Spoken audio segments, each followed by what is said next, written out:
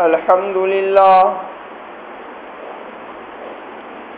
الحمد لله رب العالمين، والصلاة والسلام على سيد المرسلين، وعلى آله وصحابه أجمعين. أما بعد فقد قال الله تبارك وتعالى في الكلام المجيد والفرقان الحميد. أعوذ بالله من الشيطان الرجيم. بسم الله الرحمن الرحيم. إن أول بيت وزع للناس للذي ببكة مباركا وهدى للعالمين. صدق الله العظيم. معزز سامعین کرام، جیسا کہ آپ حضرات بخوبی جانتے ہیں کہ ہمارا عنوان تعمیر بیت اللہ چل رہا ہے، اس کی انشاءاللہ آج آخری کڑی ہے۔ اللہ تبارک و تعالی جتنے بھی بیانات اس سلسلے میں ہوئے، اس سے پہلے جس عنوان پر ہوئے اور موت تک بندے سے جتنے بھی بیانات ہو، اللہ اسے قبول فرما لے۔ خیر، میں عرض یہ کر رہا تھا کہ عبد الملک بن مروان نے جب حجاج ابن یوسف کو سن ہجری بہتر کے اندر جب وہ جنرل بنا، تو اس نے حضرت عبداللہ ابن زبیر رضی اللہ تعالی انہو کے جنگ کے ارادے سے حجاج ابن یوسف کو روانہ کیا۔ اور اس کے بعد جو جنگ ہوئی، اس جنگ کے متعلق گزشتہ جمعہ کو آپ حضرات کے سامنے میں بات عرض کر چکا ہوں کہ کیا ہوا۔ یہ گزشتہ جمعہ ہو چکا ہے۔ تو یاد رکھیے کہ سن ہجری تہتر میں حضرت عائشہ صدیقہ رضی اللہ تعالیٰ عنہ کے بانجے حضرت عبداللہ ابن زبیر رضی اللہ تعالیٰ عنہ حضرت ابو بکر صدیق رضی اللہ تعالیٰ عنہ کے نواسے پیارے آقا محمد عربی صلی اللہ علیہ وسلم کے ففیزاد بھائی زبیر بن اواب کے جگر کے گوشے، حضرت عبداللہ ابن زبیر رضی اللہ تعالیٰ عنہ ان کی والدہ محترمہ حضرت اسما بنت ابی بکر صدیق رضی اللہ تعالیٰ عنہ کے نظروں کے سامنے سن ہجری تہتر کے اندر شہید ہو گئے۔ کہو، انا للہ و انا الیہ راجعون۔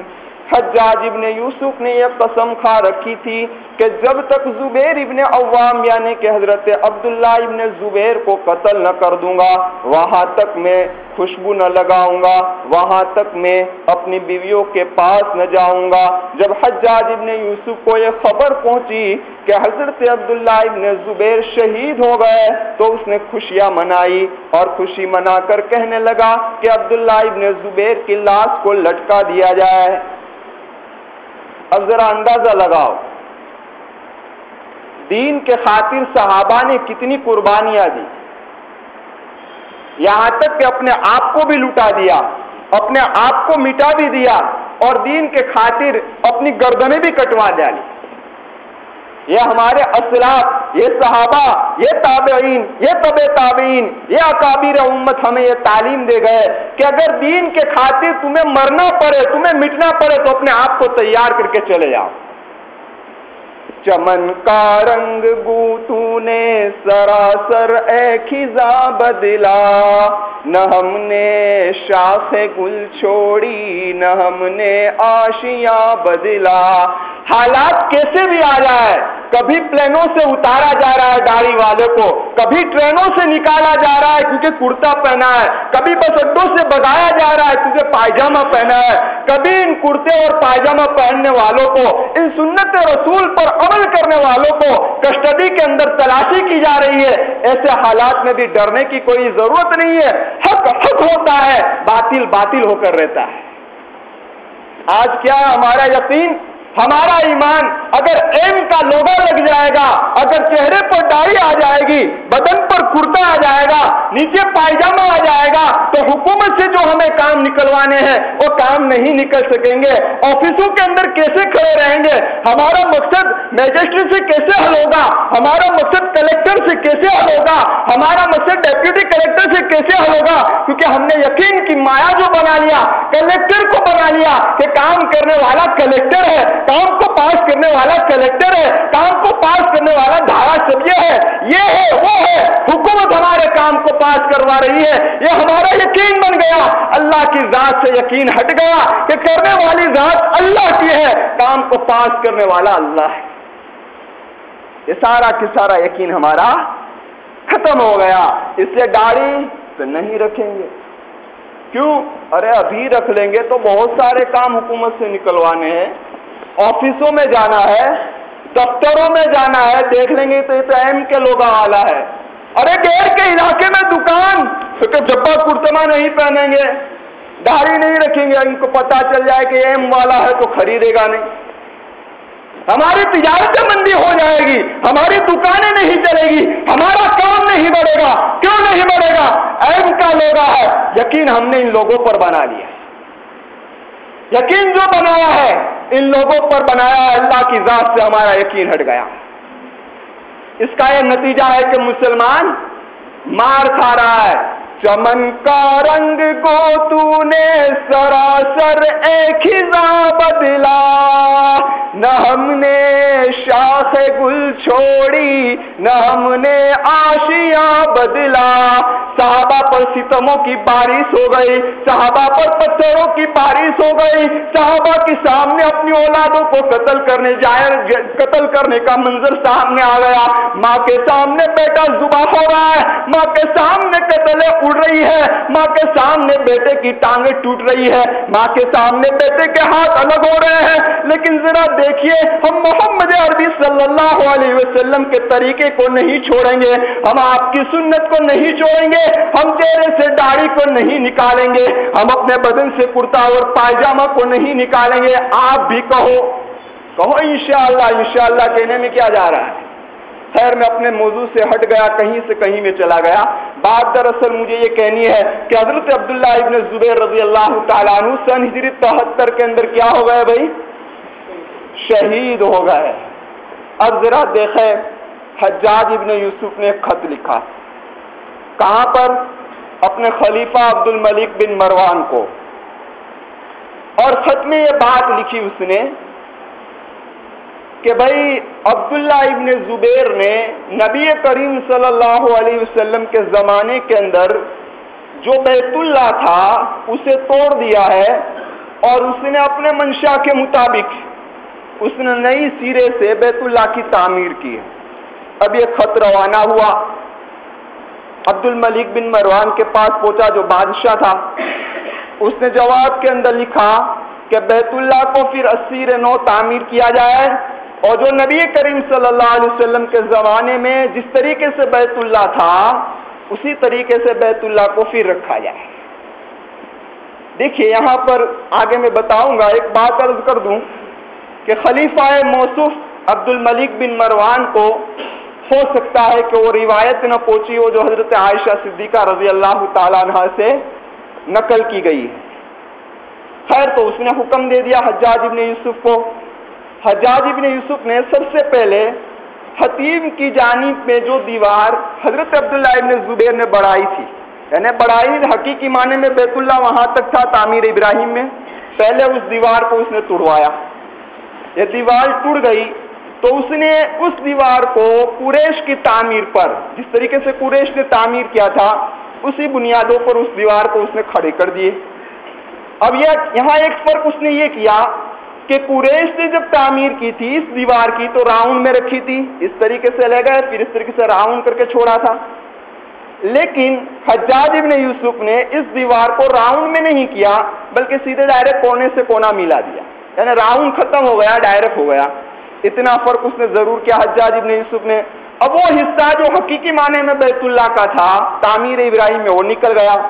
اس کے بعد دوسرا کام اس نے جو کیا، وہ یہ کیا کہ جو بیت اللہ کا دروازہ حضرت عبداللہ ابن زبیر نے نیچے کر دیا تھا، نبی کریم صلی اللہ علیہ وسلم کی منشا کے مطابق اس نے پھر اونچا کر دیا اور اب بھی اسی طریقے سے ہے تیسرا کام جو اس نے کیا، وہ یہ کیا کہ بیت اللہ کے دروازے کے سامنے مغربی دیوار پر حضرت عبداللہ ابن زبیر رضی اللہ تعالیٰ عنہما نے نبی کریم صلی اللہ علیہ وسلم کی منشا کے مطابق ایک دروازہ بنایا تھا۔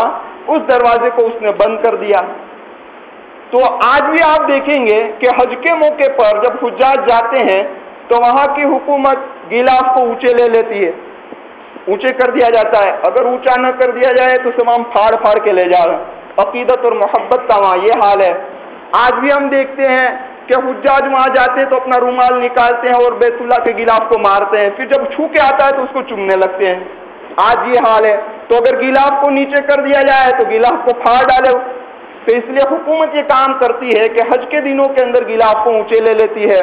جب اس گلاف کو اونچے لے لیا جاتا ہے، تو حضرت عبداللہ ابن زبیر نے جو دروازہ بنایا تھا، اس کے نشانات نظر آتے ہیں۔ اس سے پتہ چلتا ہے کہ نبی کریم صلی اللہ علیہ وسلم کے منشا کے مطابق حضرت عبداللہ ابن زبیر نے تعمیر کی تھی۔ اور ایک فرق یہ کیا کہ بیت اللہ کا دروازہ جب نیچے آیا، تو اس کا فرش بھی نیچے آنا یقینی تھا۔ لیکن حجاج ابن یوسف نے جب دروازے کو اونچے لے لیا تو اب بیت اللہ کے اندر کا جو فرش ہے اور متاف کی جو فرش ہے، اس سے اونچا ہو گیا۔ یعنی دروازے سے انٹری کرو ڈائریکٹ فرش آ جائے، نیچے اترنے کی کوئی ضرورت ہے نہیں۔ تو یہ سارا کے سارا فرق حجاج ابن یوسف نے اپنی تعمیر کے موقع پر کیا۔ اب ذرا دیکھیں، حارث بن ربیہ یعنی ایک درمیان میں نام چھوٹ گیا، میرے ذہن سے نکل گیا، ان کا والد محترم کا نام جو ہے ربیہ اپنے ایک وقت کے ساتھ خلیفہ موصف عبد الملک بن مروان سے ملاقات ہوئی۔ تو اس دوران تعمیر بیت اللہ کے سلسلے میں کچھ بات ہوئی۔ تو اس وقت عبد الملک بن مروان نے کہا کہ عبداللہ ابن زبیر نے یہ روایت اپنی خالہ سے سنی تھی۔ تو اس وقت حارث نے کہا کہ یہ روایت تو جس طریقے سے عبداللہ ابن زبیر نے تو سنی حضرت عائشہ سے، میں نے بھی حضرت عائشہ صدیقہ رضی اللہ تعالیٰ عنہ سے یہ روایت سنی ہے۔ کون سی روایت؟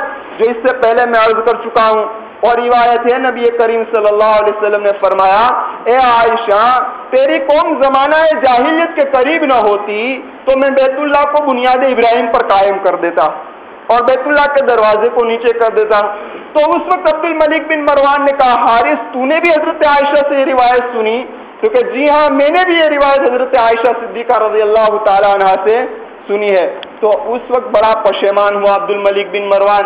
اپنی لٹھی پر اپنے سر کو رکھ دیا اور سوچتا رہا، کاش کہ مجھے پہلے پتا چل چکا ہوتا تو میں بیت اللہ کو منہدیم کرنے کا مشورہ نہ دیتا اور اپنے اس حکم کو نافذ نہ کرتا۔ اب اس کے بعد بعض مورخین لکھتے ہیں کہ ایک مرتبہ وہ حج کرنے کے لیے عبد الملک بن مروان آیا اور جب آیا تو اس وقت اس نے پورے ماحول کو جانا، حقیقت کو جانا۔ حقیقت کے جاننے کے بعد اس نے کہا کہ میں پھر سے اس تعمیر کو منہدیم کر کر یعنی جو حجاج ابن یوسف نے بنائی، اس کو منہدیم کر دوں اور اس کے بعد حضرت عبداللہ ابن زبیر نے جو نبی کریم صلی اللہ علیہ وسلم کے منشا کے مطابق تعمیر کی ہے، میں اسی طریقے سے پھر تعمیر کو دوبارہ کرنا چاہتا ہوں۔ لیکن اس وقت علماء نے روک دیا کہ بھائی اب تعمیر کا سلسلہ ختم کر دیجیے، اب پورا ہو بات۔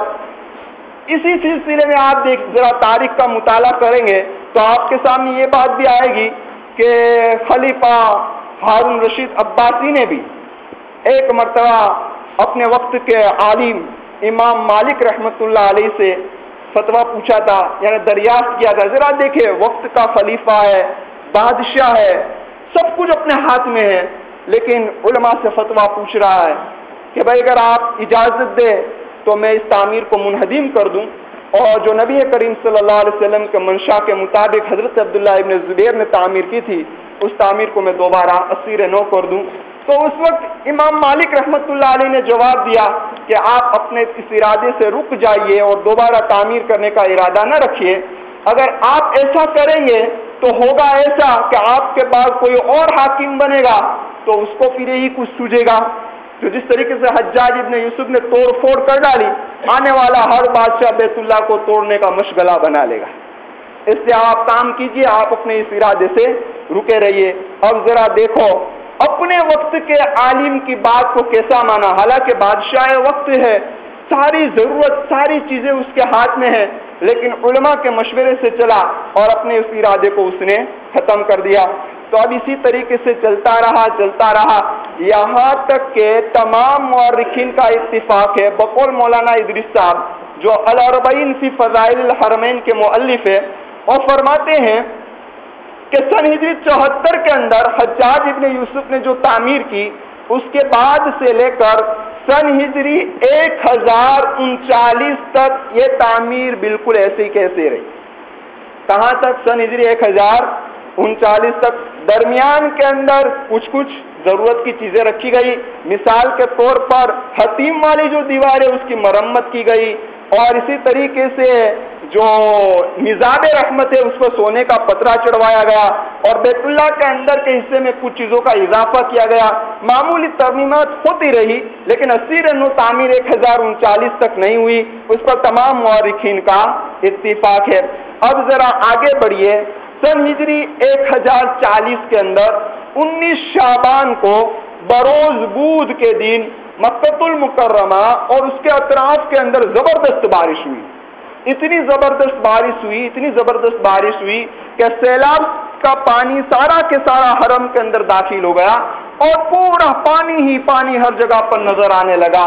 اس وقت دوسرے دن یعنی جمعرات کے دن، بیس شابان جمعرات کو اثر کے بعد سب سے پہلے حتیم والی دیوار گر گئی، اس پانی کی وجہ سے۔ اور اس کے بعد مغربی دیوار یعنی جس دیوار پر ابھی دروازہ ہے، اس کے سامنے والی دیوار کا آدھا حصہ گر گیا۔ اور ایک دیوار یعنی حتیم والی دیوار کے سامنے والی دیوار ہے، وہ بھی بیت اللہ کے دروازے تک کا حصہ گر گیا۔ اب اتنا نقصان ہوا بیت اللہ کی دیوار پر۔ اب یہ سیلاب آیا۔ اب وہ جو زمانہ تھا، اور سلطان مراد خان عثمان کا زمانہ تھا۔ سلطان مراد خان عثمان کی حکومت تھی اس وقت۔ اب اس نے پھر اسیر نو بیت اللہ کے تعمیر کرنے کا ارادہ کیا، اس وقت بھی اپنے علماء سے اس نے رجوع کیا اور فتوا منگوائے کہ بھائی پھر اسیر نو تعمیر کیا جائے کس سلسلے میں؟ یہاں تک کہ تمام متفق ہو گئے تعمیر کے سلسلے میں۔ تو سلطان مراد خان نے سن ہجری ایک ہزار چالیس کے اندر دوبارہ تعمیر کی، لیکن اس تعمیر کے اندر کوئی ترمیم نہیں کی یعنی کوئی اضافہ نہیں کیا۔ قریش کی جو تعمیر جیسی تھی یعنی حجاج ابن یوسف نے قریش کی تعمیر کے مطابق کر دیا تھا۔ اب حجاج ابن یوسف کی جو تعمیر تھی، اسی کے مطابق اس نے اپنی تعمیر کا کام مکمل کیا۔ اب ذرا دیکھیں کہ اس نے بھی یہی چار دیواریں، حتیم کا حصہ باہر چھوڑا، بیت اللہ کا جو حصہ حتیم کی طرف باقی رہا تھا، اس کو بھی باقی رکھا اور سارا کام وہ مکمل کیا۔ لیکن یہ کام کب شروع ہوا؟ سن ہجری ایک ہزار چالیس کے اندر ہوا۔ اور سیلاب کب آیا؟ سن ہجری ایک ہزار انچالیس میں۔ سن ہجری ایک ہزار انچالیس شابان میں شابان کے مہینے میں سیلاب آیا۔ تعمیر کا کام جو شروع ہو رہا ہے، اور تیئیس جماعت الاول جماعت جماعت الاخرا تیئیس جماعت الاخرا کو ہفتے کے دن یعنی سنیچر کے دن چاست کے موقع پر یہ کام کو شروع کیا سلطان مراد خان نے۔ ابا اتنا وقفہ، اتنا فصل کیوں ہو گیا تعمیر کے بارے میں؟ علماء نے لکھا ہے کہ سیلاب کے اثرات کو ختم کرنے کے لیے، سیلاب کو زبردست تھا، اس کے اثرات، اس کی نقصانی اور دوسرے بیت اللہ کی دیواروں کو گرانے کا تھا۔ تو یہ تین دیواریں تو گرا دی۔ عبد الملیہ نے، سلطان مراد خان نے۔ اور حضر اسود والی دیوار کے جو حصہ تھا، اس کو باقی رکھا تھا۔ تو ان ساری کاموں کو منہدم کرنے میں اتنی دیر لگ گئی۔ اس کے بعد اپنا منشے کے مطابق یعنی جو اس کا ٹارگٹ تھا، جو مقصد تھا، اس مقصد کے مطابق مراد خان نے اپنی تعمیر کو شروع کیا۔ یہاں تک کہ دو ذیل حجا سن ہجری ایک ہزار چالیس کے اندر اس تعمیر کا کام مکمل ہوا۔ تو سن ہجری ایک ہزار چالیس کے اندر پھر تعمیر کا کام ہوا ہے۔ درمیان میں ایک بات اور بتا دوں میں۔ علامہ طاہر القردی فرماتے ہیں، سن ہجری تیرہ سو ستہتر میں، سن ہجری یعنی کہ ابھی سے کچھ پچپن سال پہلے کی بات عرض کر رہا ہوں۔ سن ہجری تیرہ سو ستہتر کے اندر میں نے بیت اللہ کے دیواروں کو پتھر پتھر جو تھے، ان کو گننے گننا چاہا، تو میں نے گنا، تو کل پتھر جو تھے، وہ ایک ہزار چھ سو چودہ پتھر تھے۔ کتنے پتھر تھے بھائی؟ ایک ہزار چھ سو چودہ پتھر تھے۔ آگے لکھتے ہیں کہ بیت اللہ کی جو دیوار ہے یعنی کہ باب کعبہ، باب کعبے والی دیوار کے اندر چار سو انیس پتھر تھے۔ کتنے پتھر؟ چار سو انیس۔ اور سامنے والی جو دیوار ہے، بیت اللہ کا جو دروازہ ہے، اس کے سامنے والی دیوار، اس میں چار سو انچاس پتھر تھے۔ اور حتیم والی جو دیوار ہے، اس کے اندر تین سو اٹھارہ پتھر تھے۔ اور حتیم کے سامنے والی جو دیوار ہے، اس کے اندر چار سو اٹھائیس پتھر تھے۔ یہ کل ملا کر ایک ہزار چھ سو چودہ پتھر پوری تعمیر کے اندر لگے ہوئے تھے۔ اکثر پتھر جو تھے، اور نبے سینٹی میٹر موٹائی پر تھے یعنی جاڑے تھے۔ نبے سینٹی میٹر کچھ اس سے کم تھے، کچھ اس سے آدھے تھے، کچھ اس سے بھی کم تھے۔ کل تعداد جو تھی، ایک ہزار چھ سو چودہ پتھر کی تھی۔ تو اب یہ سلطان مراد خان کی جو تعمیر ہے، وہ تعمیر ابھی بھی ہمارے زمانے میں موجود ہے۔ تو ہمارے زمانے میں جو بیت اللہ ابھی ہے، یہ جو چودہ سو تیس تک کی بات کر رہا ہوں اور سلطان مراد خان کی تعمیر والا بیت اللہ ہے۔ اس نے حجاج ابن یوسف کی جیسی تعمیر تھی، اسی پر کھڑا کیا ہے۔ ہاں یہ الگ بات ہے کہ ضرورت کے پیش نظر کچھ کچھ اضافات اس کے اندر ہوتے رہے، لیکن اسیر نو تعمیر اس کے بعد نہیں کی گئی۔ اب یہ ساری بات آپ حضرات کے سامنے آ گئی، تو مختصر طور پر میں آپ حضرات کے سامنے یہ بات رکھ دوں کہ حضرت ابراہیم علیہ السلام کی تعمیر سے لے کر قریش کی تعمیر تک کا فاصلہ ہوتا ہے تقریباً دو ہزار چھ سو پینتالیس سال کا۔ کتنا؟ دو ہزار چھ سو پینتالیس سال کا فاصلہ ہے۔ پھر قریش کی تعمیر سے لے کر حضرت عبداللہ ابن زبیر رضی اللہ تعالیٰ عنہما کی تعمیر کے درمیان کا فاصلہ ہوتا ہے بیاسی سال کا۔ پھر حضرت عبداللہ ابن زبیر کی تعمیر سے لے کر حجاج ابن یوسف کی تعمیر کا فاصلہ رہتا ہے دس سال کا۔ پھر حجاج ابن یوسف کی تعمیر سے لے کر سلطان مراد خان عثمانی کی تعمیر کے درمیان کا جو وقت ہے وہ نو سو چھاسٹھ سال کا ہے۔ تو یہ پورا درمیانی وقت ہے۔ تو وہ ابھی جو بیت اللہ، ابھی ہمارے زمانے میں جو موجود ہے، اور کس کی تعمیر کیا ہوا ہے؟ سلطان مراد خان عثمانی کی تعمیر کا ہے۔ اب یہ ابھی بھی جاری ہے۔ اب کیا ہوگا؟ اب حضرت عائشہ کی روایت سن لیجیے آج میری آخری بات ہے اس عنوان پر۔ اس سے پانچ منٹ ہو جائے تو آپ معذرت چاہتا ہوں میں آپ سے۔ اب کیا ہوا؟ حضرت عائشہ صدیقہ رضی اللہ تعالیٰ عنہ فرماتی ہے، یہ بخاری اور مسلم شریف کی روایت ہے کہ نبی کریم صلی اللہ علیہ وسلم نے فرمایا کہ ایک لشکر بیت اللہ کو منہدیم کرنے کے لیے مفہوم حدیث بیان کر رہا ہوں کہ بیت اللہ کو منہدیم کرنے کے ارادے سے نکلے گا۔ جب یہ لشکر پورے کے پورا نکل جائے گا اور زمین کے ایک میدان میں پہنچ جائے گا، تو اللہ تبارک و تعالیٰ اس کے اول سے لے کر آخر تک کے تمام حصے کو زمین کے اندر دھسا دے گا۔ زمین کے اندر دھسا دے گا۔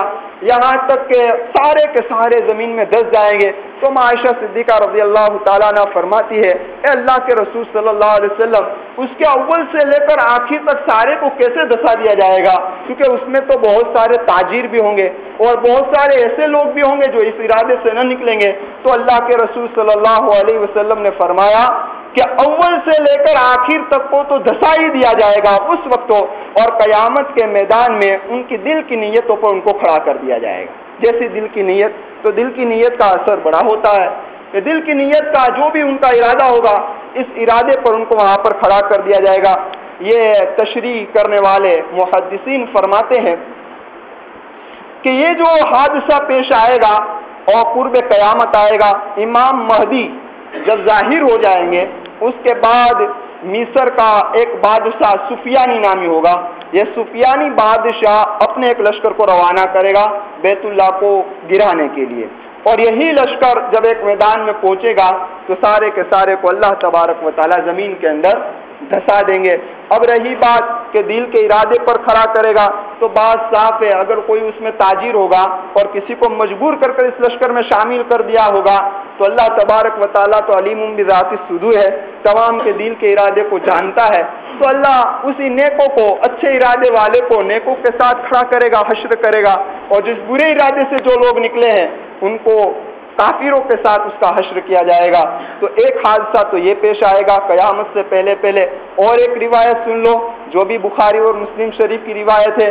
حضرت ابو حریرا رضی اللہ تعالیٰ عنہ راوی ہے، فرماتے ہیں، نبی کریم صلی اللہ علیہ وسلم نے فرمایا کہ حبشہ کا ایک غلام چھوٹی پنلی والا کعبہ کو منہدیم کر دے گا۔ کعبہ کو منادیم کر دے گا۔ یہ بھی کب ہوگا؟ قیامت کے قریب قریب۔ اور ایک روایت سن لو جو صرف بخاری شریف کی ہے۔ اس کے راوی حضرت عبداللہ ابن عباس رضی اللہ تعالیٰ عنہ ہے۔ حضرت عبداللہ ابن عباس رضی اللہ تعالیٰ عنہ فرماتے ہیں کہ نبی کریم صلی اللہ علیہ وسلم نے فرمایا، گویا کہ میں اس آدمی کو دیکھ رہا ہوں جو قیامت کے قریب قریب بیت اللہ کو گرائے گا۔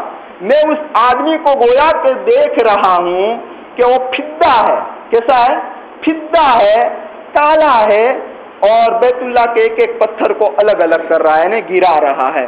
اب یہ دو روایت، پہلی روایت میں اس گرانے والے کی ایک صفت یہ بیان کی کہ اس کی پنڈلیا کیا ہوگی بھائی؟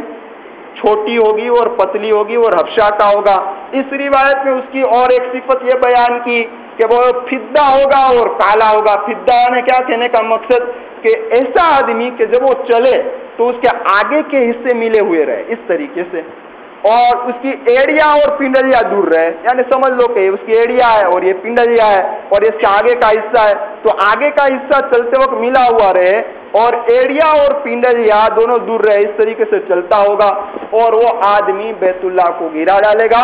اس کے ایک ایک پتھر کو سمندر کے اندر وہ پھینک دے گا۔ اب ذرا غور کرے کہ اللہ جب تک بیت اللہ کی حفاظت کرنا چاہے گا، اس وقت بڑے سے بڑا لشکر بھی اس کو گرانے کے لیے آئے گا، تو اللہ اس کو ہلاک کر کے رکھ دے گا۔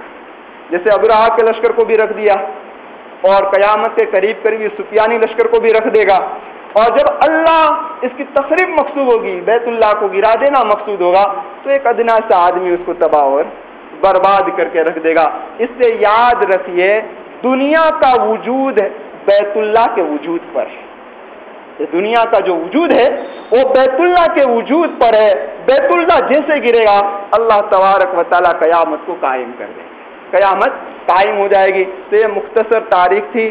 آپ حضرات کے سامنے میں نے پیش کی۔ ایسے تو میرا ارادہ یہ تھا کہ تاریخ مدینہ بھی آپ حضرات کے سامنے پیش کر دوں، لیکن آپ جانتے ہیں انشاءاللہ آئندہ جمعہ کو رمضان کا چاند دیکھ دیکھنے کے امکانات زیادہ ہے تو پھر رمضان کے موقع پر تو رمضان کے عنوان پر ہی، عناوین پر ہی بات ہوا کرتی ہے۔